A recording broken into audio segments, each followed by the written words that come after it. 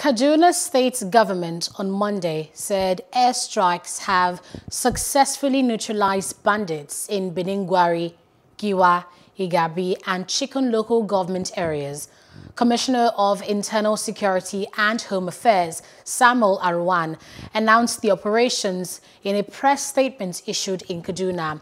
He said the Air Force conducted armed reconnaissance over Sabon Birni, Rikau, Kaya, Kerewa, Galadima, Fatika, Kidandan and other areas in the state.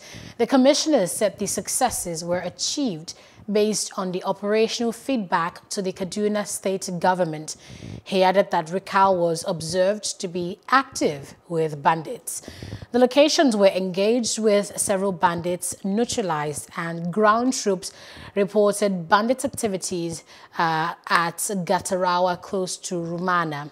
When the crew did not establish clear contact, the location was strapped with probing shots into the dense vegetation.